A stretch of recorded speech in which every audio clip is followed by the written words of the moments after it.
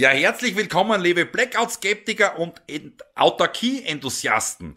Ja, ich bin heute noch immer beim lieben Christoph. Der Christoph ist nicht nur einer, der was beim Upcycling und Second Life für ein Tesla Modell S, da sich was mit den Batterien einfallen hat lassen, der Christoph und sein Vater sind die begnadeten Windenergie-Enthusiasten und ich werde euch mal ein bisschen was zeigen, was sie im Bereich der Windenergie machen und die können natürlich auch Holz vergasen und daraus Strom machen. Also ich weiß gar nicht, wie viele Lobesworte ich aussprechen soll. Hier hat er jetzt gerade ein wenig gekämpft. Vielleicht haben die Jungs auch in den Kommentarleisten die eine oder andere Muse. Hier hat er sich ein 2 kW China-Generator, ein Brushless Permanentmagnetmotor besorgt. Und da hat er schon mit allerhand Schwungscheiben herumgedoktert und ist nicht ganz zum Fahren gekommen, weil einfach der zu viel zurückhält. Vielleicht haben die einen oder anderen gute Ideen und ich werde euch jetzt einmal im Prinzip die Antriebseinheit zeigen von seinem Windrad. Da werden wir jetzt mal raufgehen, weil wir sind heute ein wenig auf der Alm und da oben ist das geniale Stück. Also ich sehe da einen Hut. Freunde, hier ist Do-It-Yourself von Herrn. Wie schon erwähnt, wir sind ein wenig hier auf der Alm, glaube ich knapp 880 Meter Seehöhe. Hier bläst immer ein wenig der Wind. Und dem der Meining natürlich interessiert das Windenergie-Thema enorm, weil die Sonne, sie schickt uns halt nicht immer Energie. Und der Christoph und sein Vater, das sind schon wirkliche wahre Perfektionisten. Das sind Ölfässer, die, was sie mehr oder weniger aufgeschnitten haben, perfekt verarbeitet. Also im Bereich der Handwerkskunst absolute Koryphäen. Und hier geht es jetzt darum, sie tüfteln ein wenig rund um den Bereich von Generator, weil sie einfach da nicht ganz zum Schmeißen kommen im unteren Leistungsbereich, dass das passt, auch wenn sie hier auf der Alm sind und dieser Wind, wie er jetzt momentan ist, hat mir der Christoph gesagt, das ist der Normalzustand. Das ist ein wenig was von der schönen Gegend. Seht's, wirklich auf der Alm gibt es keine Sünde.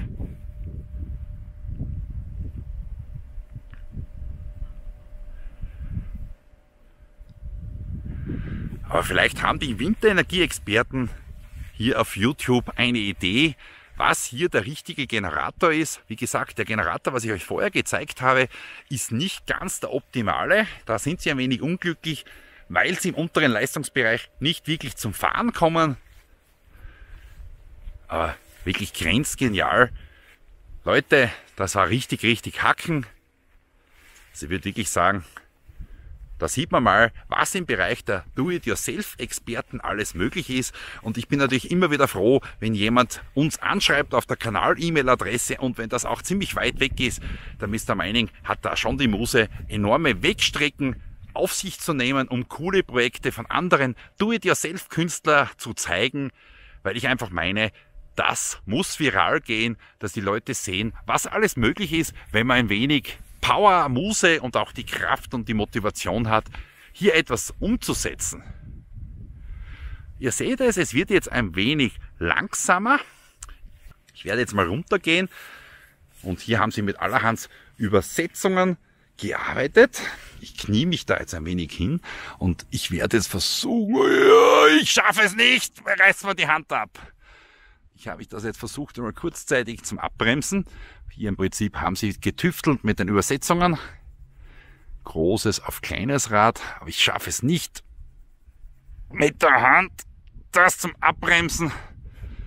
Es wurde langsamer, aber einfach diese Angriffsfläche hier ist so enorm aufgeschnittene Ödelfässer.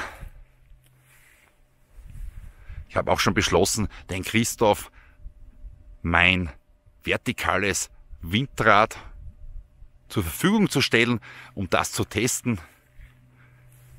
Auch hier hat er Interesse daran. Wir werden das zur Verfügung stellen. Jetzt lasst es ein wenig nach. Aber jetzt baut sich schon wenig ein Drehmoment auf. Ja, und da geht es jetzt darum, bei dieser Geschichte zu schauen, was ist der richtige Generator. Und wie gesagt, der, was ich euch vorher gezeigt habe, der 2 kW, das ist doch ein wenig zu viel. So, liebe Freunde, ja, ich hoffe, ihr habt ein paar Antworten für uns, was hier der richtige Weg wäre, was für einen Generator, was für ein Übersetzungsverhältnis ihr da meint, was der richtige Weg wäre. Der Christoph hat da schon ziemlich viel herumgeschissen. Wie gesagt, den Generator, was ich euch vorher gezeigt habe, 2 kW, der hat dann doch rund 650 Euro gekostet. Das ist schon alles richtig Asche. Äh, scheinbar ist der ein wenig zu stark. Hier geht es ja doch primär ein wenig darum, im unteren Leistungsbereich, dass man da ein wenig was in die Reihe bekommt. Ihr werdet werdet jetzt gerade merken, der Wind, der bläst jetzt ordentlich von der Stelle. Also da geht schon richtig was zur Sache. Und wenn ihr wirklich Muse und Idee habt, bitte schreibt es rein in der Kommentarleiste, dass sich auch die Windenergie-Experten ein wenig austauschen. Ich sage danke für euer Zuschauen. Bis zum nächsten Mal. Euer Mr. Mining. Tschüss. Baba.